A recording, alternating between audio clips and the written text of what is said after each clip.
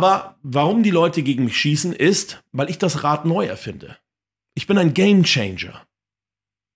Ich sag nicht drei Sätze von Professor äh, 1962. Da gab es einen Professor, der hat mal äh, äh, genau. Äh, das ist eine alte Scheiße. Alle empfehlen äh, für ein Latt mache ich Latt ziehen und dann mache ich noch mal Rudern im Sitzen und dann noch mal am Kabel und vielleicht auch mit der Langhantel und dann mache ich Bizeps Rücken, dann mache ich Trizeps Schulter Brust und Beine Bauch. Immer die gleiche Scheiße.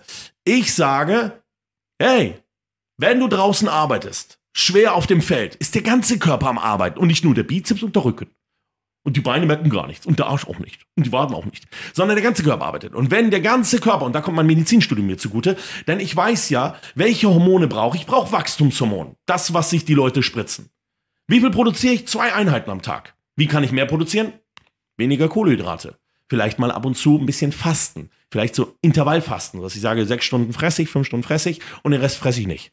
Oder ich esse etwas, was zum Beispiel keine Insulinausschüttung nach sich zieht. Obst. Ich kann zum Beispiel ein Ernährungskonzept haben, wo ich fünf Stunden am Tag alles fresse, was ich will.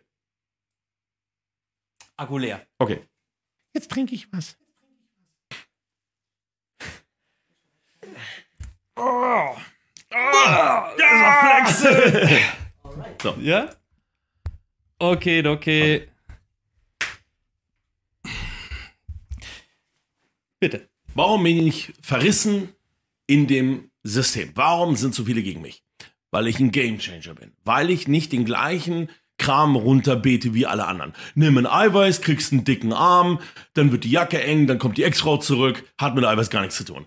Äh, geh fünfmal die Woche zum Sport, mach Cardio-Training zum Abnehmen, Niemals ist Cardiotraining zum Abnehmen. Wenn überhaupt, ist es was für das Herz-Kreislauf. Also für den Herz-Kreislauf-Apparat. Das ist ein kardiovaskuläres, das ist ein Herz-Kreislauf-System. Hat nichts mit Fettverbrennung zu tun. Man geht ja auch nicht zum Kardiologen, wenn man einen dicken Arsch hat und sagt, den hätte ich gern dünner. Geben Sie mir mal einen Tipp. Ja, da geht man zum Ökotrophologen, also zum Ernährungswissenschaftler. Okay.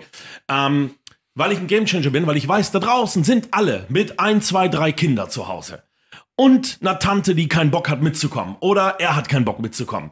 Und die wollen jetzt noch zum Sport, sind abgenervt und kaputt von ihrem Job. Und den sagst du fünfmal die Woche, eineinhalb Stunden Krafttraining, dann fallen die tot um. Weil das Training ist auch eine Belastung für den Körper. Es ist zusätzlich Stress für den Körper. Es sei denn, du hebst 20 Kilo äh, beim Bankdrücken, also nur die Stange. Dann ist das kein Training, aber dann ist es auch kein Stress. So, das heißt, wenn du den sagst, fünfmal die Woche, entweder macht er das, dann kippt er tot um, oder er macht es nicht, weil er sagt, das schaffe ich gar nicht, ich bin viel zu müde. Und dann macht er nämlich gar nichts. Wie alle Leute, die ich sie sehe in der Sauna.